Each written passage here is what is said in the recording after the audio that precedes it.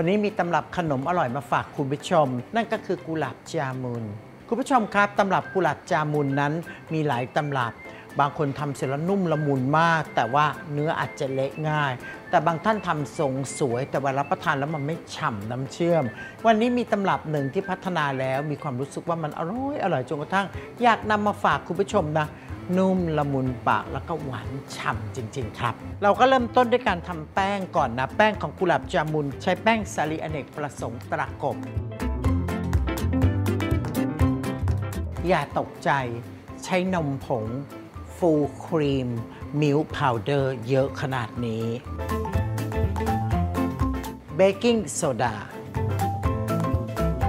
และถ้าจะให้หอม คุณผู้ชมต้องอย่าลืมไขมันคุณภาพเยี่ยมเลย Australian dairy free butter oil ไขมันวัวธรรมชาติผลิตจากส่วนผสมธรรมชาติ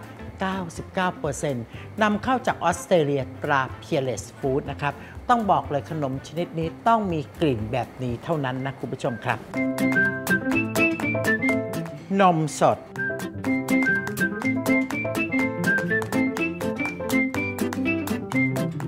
น้ำหอมกลิ่นกุหลาบ ราะฉะนั้นขนมชนิดนี้จึงเรียกว่ากุหลาบจามุน นวดผสมจนกระทั่งส่วนผสมเข้ากัน แล้วก็ต้องมีพักแป้งนะคุณผู้ชม พักไว้จนกระทั่งส่วนผสมเนี่ยชุ่มฉ่ำเข้ากันดี ถึงค่อยนำมาทอดนะคุณผู้ชมนะเขามีทำเป็นสำเร็จรูปนะคุณผู้ชมเป็นแบบ ready mix ใส่กล่องมาจากอินเดียเลย แต่ก็ไม่อร่อยเท่าตำรับนี้นะเราลงแล้วแหละ เอาละ เราจะพักแป้งนี้ไว้คุณผู้ชม ในตู้เย็น อาจารย์ยิ่งศักดิ์ว่าอย่างน้อยต้องมีชั่วโมงหนึ่งนะ ไม่เช่นนั้นน่ะ ไม่สามารถทอดได้ เดี๋ยวจะปั้นเป็นลูกกลมๆ และนำมาทอดนะคุณผู้ชมครับ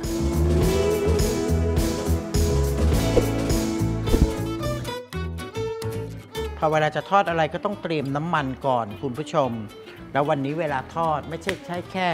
น้ำมันมรกตรับรองจะติดใจเท่านั้นนะคุณผู้ชม เรายังต้องการกลิ่นที่มีความหอม แบบขนมตำรับอินเดีย คุณผู้ชม เราใส่ Australian dairy free butter oil ไขมันวัวธรรมชาติ ผลิตจากส่วนผสมธรรมชาติ 99%นำเข้าจากออสเตรเลียตรา Peerless Food ใส่ลงไปด้วยนะคุณผู้ชม กลิ่นจะออกมาเป็น 2 กลิ่น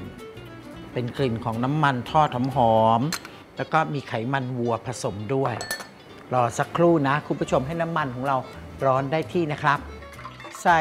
แป้งที่เราปั้นไว้เมื่อครู่นี้ ไฟแรงมากไม่ค่อยได้นะคุณผู้ชมนะมันจะคล้ำข้างนอก ต้องไฟอ่อนหน่อยเอาละเสียงสงบแล้ว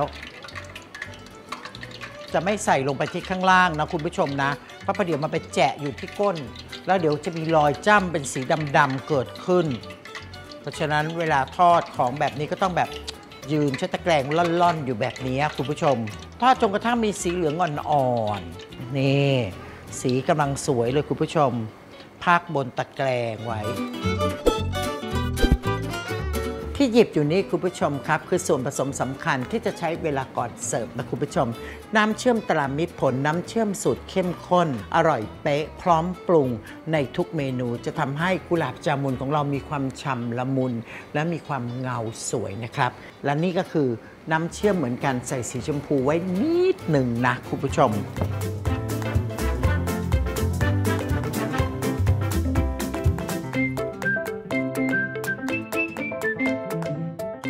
เตรียมกุหลาบจามุนที่เราต้องการหนึ่งลูก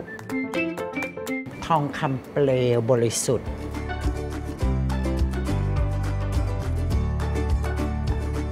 จุ่มลงไปตรงที่มีทอง ยกขึ้นมาทองก็จะติดอยู่ตรงนี้คุณผู้ชม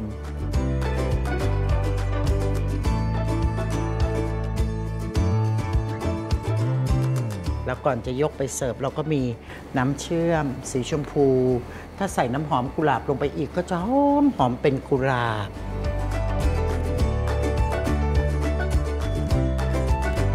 น่ารับประทานไหมคุณผู้ชม